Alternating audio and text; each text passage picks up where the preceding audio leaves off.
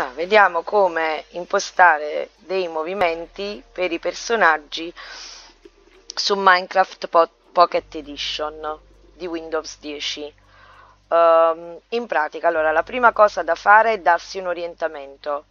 Questa uh, freccia indica il mio orientamento, quindi quando io andrò in avanti rispetto all'asse Z, come potete vedere dalle coordinate quando vado in avanti l'asse Z aumenta, quando vado all'indietro l'asse Z diminuisce e eh, sempre eh, rispetto a questa freccia, quando vado a destra invece diminuirà l'asse X, vedete 1, 0, meno 1, quando andrò a sinistra invece l'asse X aumenterà. Quindi una volta stabilito bene qual è l'orientamento che ci si assegna, possiamo poi fare in modo di costruire un percorso e impostare, poi vedremo con i blocchi comando, il movimento.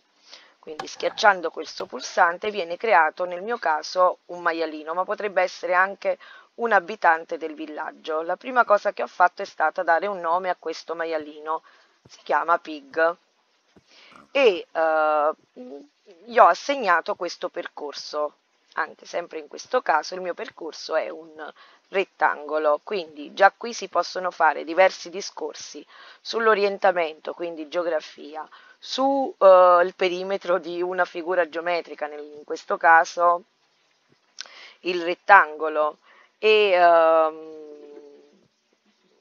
su uh, vabbè, eh, animali, differenze tra animali e e abitanti, insomma ci sono tante tante cose che si possono trattare. Allora andiamo a vedere.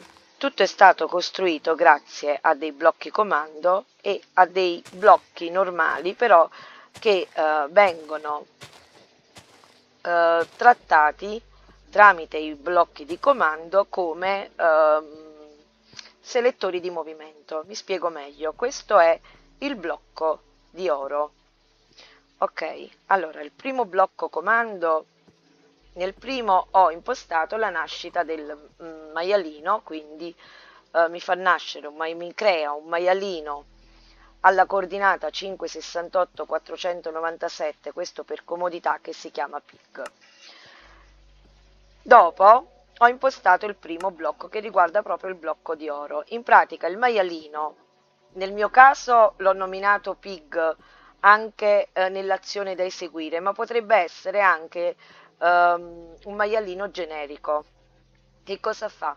Deve controllare due blocchetti sotto di lui, come vedete la coordinata generica y eh, in base a dove si trova il maialino, controllerà due blocchetti sotto. Se c'è un blocco d'oro, che cosa succederà? Il maialino di nome Pig, in questo caso invece il nome è importante, di nome Pig, si muoverà in avanti, in base all'orientamento di cui parlavo all'inizio, di 0.1 sull'asse Z, quindi farà un piccolo passettino in avanti.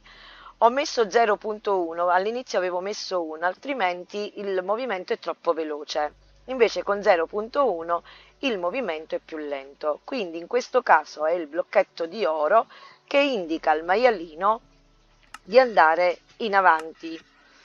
Qui invece troveremo lo stesso comando, solo la differenza viene fatta dal blocchetto di diamante che in pratica porterà in avanti, in questo caso però sull'asse uh, del, uh, delle X, ricordandomi sull'asse delle X, quindi quando incontrerò il diamante andrò verso sinistra perché è verso sinistra che l'asse X aumenta. Stessa cosa qui, solo che il blocco è quello di smeraldo, quindi quando il maialino vede che due blocchetti sotto di lui c'è un blocco di smeraldo, allora invece di andare in avanti come nel blocchetto d'oro, andrà indietro di meno 0.1 sull'asse Z l'ultimo, quando il maialino trova due blocchetti sotto di lui, quello di ferro, che cosa succederà? Andrà in, diciamo indietro, ma andrà verso destra perché si sta muovendo sull'asse x di meno 0.1. Ripeto, 0.1 è perché ho, ho, fatto diversi esperimenti e ho visto che è quello che mh, riduce molto la velocità. Quindi ripetendo tutto, qui ho fatto un, un piccolo uh, schemetto. Questo blocco si trova nell'inventario tra i blocchi di terracotta smaltata, eccolo qui, con le freccette ci, da, ci diamo questo orientamento, magari ce lo appuntiamo perché magari in futuro potrebbe, potremmo non utilizzare questo schema per diverso tempo, quindi magari ce, ce lo appuntiamo da qualche parte. Comunque, quando il maialino troverà sotto di sé blo- due blocchetti sotto di sé il blocchetto di oro, andrà quello che per noi in avanti. Quando troverà il blocchetto di smeraldo, due blocchetti sotto di lui andrà quello che per noi è stato impostato indietro, quando troverà il blocchetto di ferro andrà alla nostra destra, sempre impostata ehm, sull'orientamento che ci siamo assegnati all'inizio e invece con quello di eh, diamante andrà verso sinistra. Uh, ci tengo a dire questa cosa perché magari qualcuno potrebbe provare a impostare il blocchetto uh, di oro per andare uh, in avanti e magari non ha tenuto conto che uh, è orientato in modo diverso rispetto a me nel video e dice ma non funziona oppure funziona in modo uh, diverso e, e questo può succedere sempre perché bisogna darci un orientamento rispetto alle coordinate che troviamo qui in alto in Minecraft. Una volta che ci siamo dati questo orientamento, nulla ci vieta di utilizzare i blocchi che più ci piacciono da tenere a meno 2 e farlo, uh, far camminare qualsiasi entità.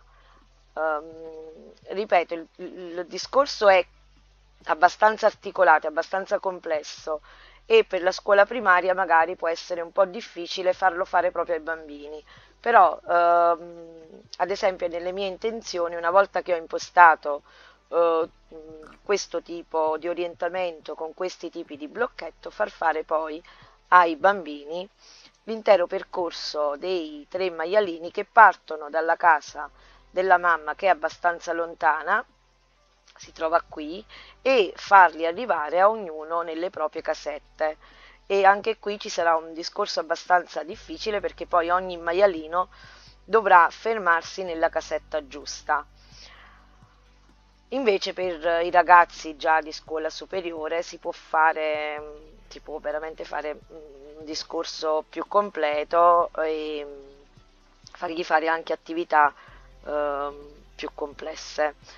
Un'ultima cosa che forse già avete notato, io mm, messo intorno al maialino il blocco barriera, uh,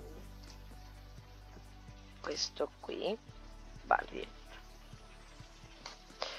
eccolo qua, si vede solo quando um, il mio personaggio ce l'ha tra le mani, ok?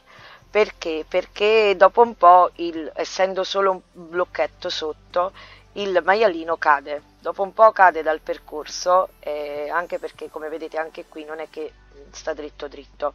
Un'altra cosa bruttina eh, che eh, nella versione Java si può risolvere facilmente, ma nella Bedrock o Pocket Edition, come dir si voglia, del, di Windows 10, quella che sto usando io in pratica, non riesco ancora a manipolare l'intelligenza artificiale delle entità.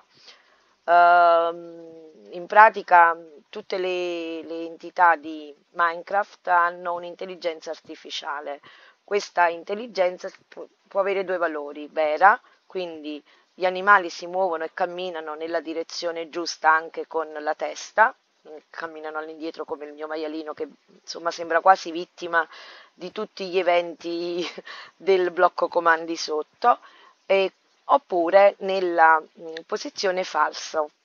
Quando l'intelligenza artificiale è impostata su posizione falso, eh, in pratica eh, le entità ehm, è come se perdessero la volontà delle loro azioni. Quindi, oltre a essere vittima di questo movimento eh, dovuto al blocco dei comandi, seguirebbero anche con la testa quello che è il movimento del loro corpo.